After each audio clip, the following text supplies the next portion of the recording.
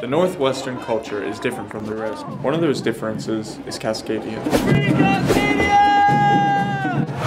Hi, my name is Sebastian.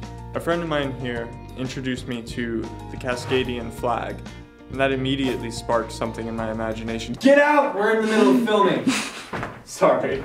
So now I'm on a journey to get to the root of the core of what it means. Let's go. Of the journey is to kind of like figure out what Cascadia is all about. What are the political motives behind it? They say it's pretty peaceful, and we just kind of want to get an, an insider's look at what it means to be a part of this movement of Cascadia. So we're on our way now to the Cascadia Convergence, which is some sort of meeting that they have way out in the woods. Little camp out, get together, hooligan stuff in the woods, basically. So we're, we're gonna go see what that's all about.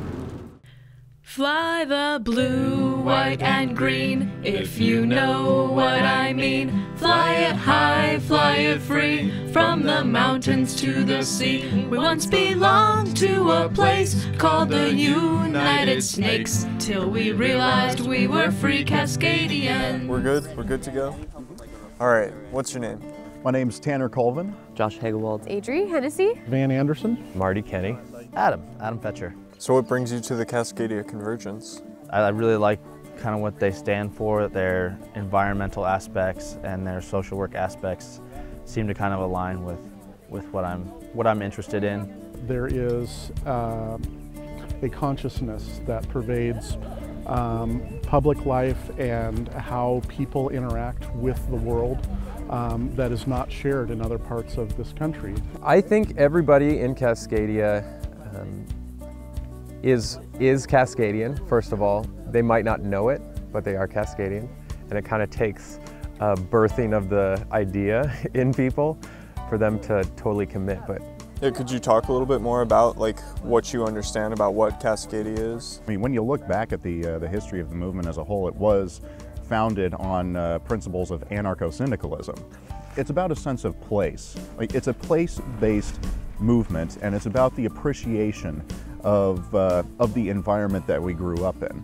In terms of uh, the Cascadia bioregion, it's more about the environment shaping us than us trying to change the environment. What do you what do you think about Cascadia as a secessional movement? That's not like who we are. Most of the time when I meet people and I'm usually wearing something, they're like, "Oh, Cascadia," like I, that's that secessionist movement. I get that all the time. Okay, so if we could gradually, as a bioregion, move away from the whole nation state that is the United States, um, we don't necessarily have to secede from it.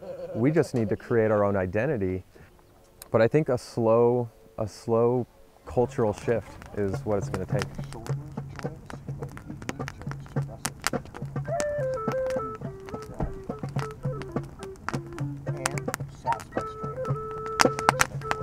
It's starting to make a lot more sense to me what Cascadia is really all about. I wonder, what is next for this movement? I met with Brandon Letsinger, head of Cascadia now, to find out. These are from the giant puppets. Okay. Which... Is the sound okay? Yeah. Okay.